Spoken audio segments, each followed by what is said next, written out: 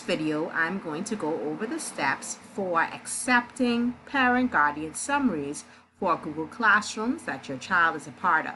So you would go into your inbox, your email address inbox, and you would look for an email from your child's teacher. You would click on the email, and as you can see, it says receive Google Classroom email summaries for QC tests. So this is just an example of a class.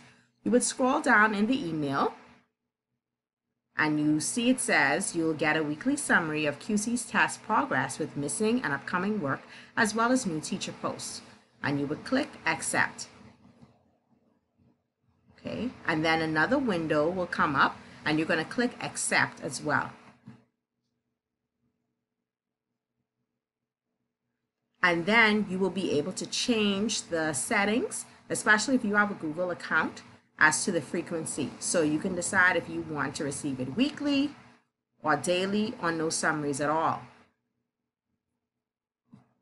So as the weeks continue, you will receive various classroom invites for the summaries for the different classes that your child is a part of, and you can choose to set up the daily or the weekly summaries. So that's your tutorial on how to accept Google Classroom email summaries for parents.